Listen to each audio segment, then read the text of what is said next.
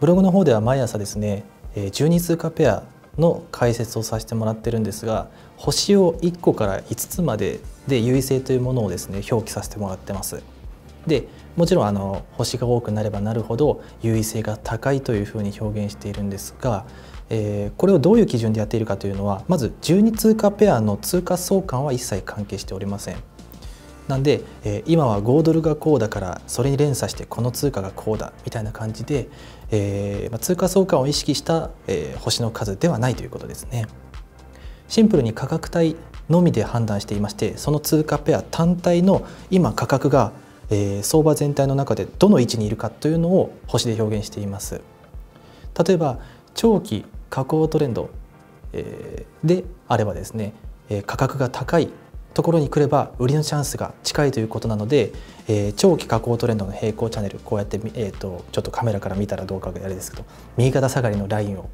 引いた時に上の方に来れば来るほど、えー、売りやすい位置が近づいているということで星を多くしています。だいたいセンターラインど真ん中あたりが星3つぐらいで私の方はやっています。で基本的には中期のトレンドは意識せずに長期のみで判断しておりまして長期のトレンドの平行チャンネルに対してどのぐらいの位置感で、えー、ローソクが今とどまっているのかっていうのを、えー、優位性というふうに言っています。そもそもなぜ優位性というものを表記しているかというところでもあるんですけども相場というのはですね先を予測することは私はほとんど不可能だと思っております。本当に投資を極めた方であれば可能なのかもしれませんが少なくとも私のようなですね、えー、ごく一般人には、えー、ほぼ厳しいんではないかと考えています。つまり、えー、私は相場の、まあ、相場でですねチャートでですねこうエントリーをするってなった時にこう何もない荒野にいきなりトンと落とされたような感覚で最初、えー、チャローソクを見るわけですね。そこで今自分はこの何もわからない土地いきなりほっぽり出されたけどこの土地の中でどれぐらいの位置感にいるのかっていうのを把握するこの把握するしないっていうのはすごく、えー、大きな違いがあると思っていて、えー、見知らぬ土地を歩く時にですね、えー、地図があるのとないのでは気持ちの持ちようが全然違うと思うんですよね。例えば地図がない状態で見知らぬ土地を歩いていたら最初は自分の中で太陽の方向とかいろいろ見て何となく自信があったんだけども途中からやっぱりあっち曲がっといた方が良かったかなとか最初のスタート地点なんかおかしかったなとかえー、今引き返せば間に合うかなとかいろんなことがよぎってくるんですね。でもし自分が本当に正しい道を歩いていたとしてもいろいろな不安なことがよぎって恐怖だったりとか不安だったりがよぎって自分の判断をですね誤って、えー、変えてしまう場合があるんですね。これは相場にもよく言えまして、えー、自分が今この相場チャートのローソクの大体の、まあ、僕は地図って言ってるんですけども長期のトレンドの中でえー、どれぐらいの価格帯にいるのかっていうのを認識することでその中で自分の中で今優位な位置にいるなっていうのを把握することで自信を持ってポジションを持てる自分が、えー、ポジションを持つ時に自信を持てるといったふうにですね、えー、心の余裕を作るために段階的に、えーまあ、ランク付けみたいなのをしてるんですけども、えー、そういった環境認識っていうのは、えー、本当に重要なことかなとは思っています。基本的にはもう全て私の言ってることは全部自分のメンタルをいかに余裕を持たせるかとかいかにストレスがなくトレードに向き合っていけるかっていうところに、えー、全部全力を注いでいるので、えー、地図を持つ理由もそのうちの一つということになります。で優位性という言い方をしています。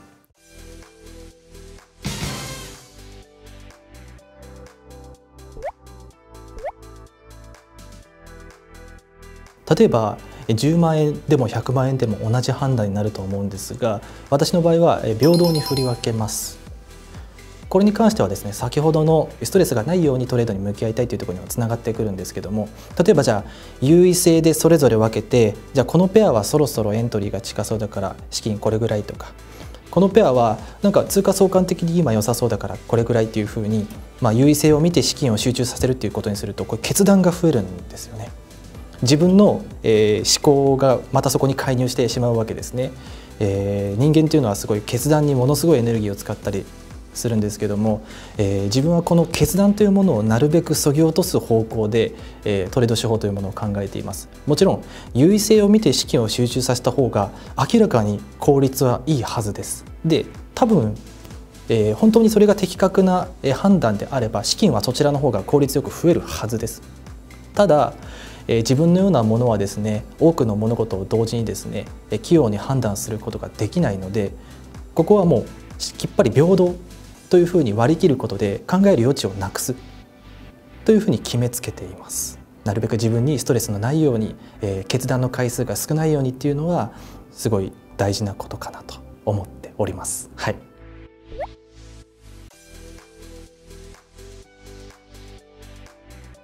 そうですね。まさにあったということですね。はい、というのはですね自分の都合のいいように各通貨ペアを見るようになってしまうんですよね。はい、じゃあ優位性見てなんとなくこのペアは、えー、これからどんどん、えー、ボラティリティが大きくなって大きな値幅が取れそうだからこれに集中させようとかっていう判断がですね、えー、ルール化がすごく難しいんですよね。なんでほぼ自分のなんとなく裁量になってしまうんですよね。そうすると、えー、自分の都合のいいようにですね自分の都合がよく見えてしまうペアに資金を集中させてしまうので、えー、結果的にですね自分本位になってしまうというところがあります。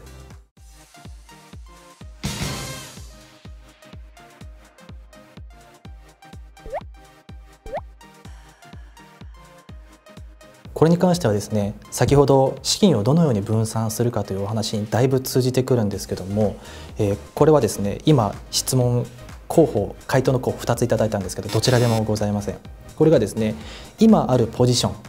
を保有している通貨ペアと、えー、別の通貨ペアっていうのは私はもう別口座ぐらいのもので考えてまして、えー、そこにですね、えー、今こっちの方が効率よく資金増やせそうだからこっちはもう切っちゃって、え、ちょっとルールとは関係ないけど決済してこっちに資金を移そうとかロットを移そうということは、ま、判断としてですね、まあ、難しい、えー、難しくなかったとしても決断の回数が増えるので、えー、個人的には、え、避けたいというところがあるので、えー、資金を平等に割り振るのと同じくもう各通貨ペアのエントリーっていうのはもう、え、別口座ぐらいでですね、え、の気持ちで分けて考えているというイメージですね。なんで、え、この通貨ペア優先しようとかではなくて単純にその通貨ペアで一番有利なところに来たらエントリーするで自分のルールになったら決済するというだけをそれぞれの通貨ペアでやっているというイメージですね。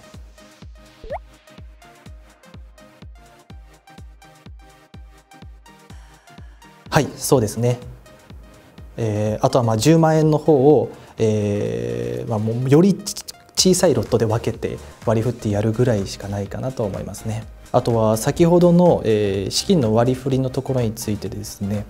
えー、今の話にも通じるんですけども、えー、やっぱり複数通貨ペアを同時に見るっていうのは基本的にはまあ難しい作業になってくるんですよ、特に初心者の方とかもう相場を本当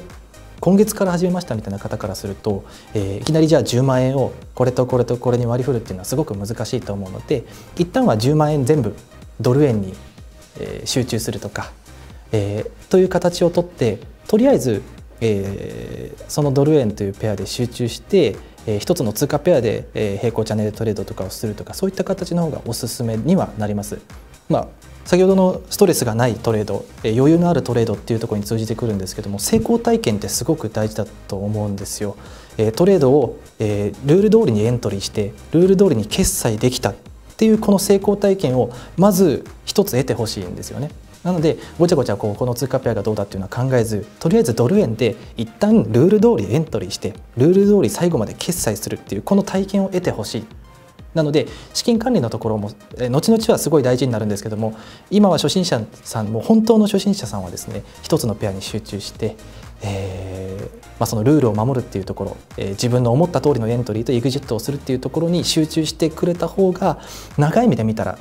えー、いつか自信になってくるかなと思います。はい、自信は余裕につながって、えー、適切な合理的な、えー、売買判断につながると思います。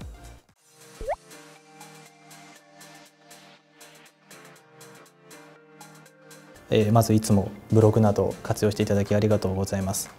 スバルラインを使う上で、えー、どういうふうに活用するかというよりはルーツを知った方がいいかなっていうのが思います。スバルラインをなぜ使うのか環境認識を正しく行うために私はスバルラインというものを使っています。その上で多くの人に意識される線というのを探して、えー、的確に引くということをですね、えーまあ、ポイントとしているんですけどもえー、平行チャンネルを引くコツでですね例えば、えー、サポレジ転換を意識するとか大きすぎるヒゲフラッシュクラッシュとかのヒゲとかは無視するようにしているとかまあ、もちろんあの一般的なチャンネルラインと同じく高値安値を意識するんですけども、えー、そういったところあとは 200SMA がきれいに収まるとか、はい、チャンネルの中にですね。っていうルールは自分の中ではあるんですけどもそもそもなぜ、えー、を無視してろうそくの実線で線を引いたりするのかっていうのはあのスバルラインを使って、えー、的確に、環境認識をしたい。多くの人に意識される線を探したい。じゃあ多くの人に意識される線って何だろうって考えた時に一番の、えーまあ、イメージできるものって移動平均線だと思うんですよね。で移動平均線の計算式って終値で算出されているんですよね。一定期間で設定された終値で算出されているとつまり移動平均線ってヒゲが関係ないんですよね。移動平均線という多くの人に意識されるラインが、えー、ヒゲを無視しているのになぜチャンネルラインは、えー、ヒゲを使うのかっていうところに至るはずなんですね。まあ、もちろんあのどっちが正しいとは僕は言わないんですけども、えー、僕のやり方僕の時間軸僕の、えー、トレードルールでは、えー、を無視して、えー、ろうそくの実体特に冷やしとかの長い時間軸で平行チャンネルを作るとより精度の高いものになっていったというルーツがあります。なのでここを意識していただけると、えー、例えばでスバルラインだけではなくてえーと、活用していただいている方であのオシレーターとかを組み合わせたりとか、えー、いろいろな自分なりの、まあ、平均線とか水平線もそうですねいろいろ組み合わせながらやってくださっている方もいらっしゃるんですね。その時に、えー、多くの人の意識される線はどこなのかっていうポイントを押さえることができれば、えー、うまいこと活用できるのかなと思います。基本的なルールは、えー、サポレジ転換を意識することと、えー、ヒゲを無視してもいいということと大窓窓ですね。大きくなくてもいいや。窓を無視すること。この3つはすごく大事にしている。あとはこれは補足程度なんですけども 200SMA がきれいに収まるようにするとより良いものになるというイメージで、え、こういうふうに線を引いた方が長期ではいいかもしれませんというご提案をさせてもらってます。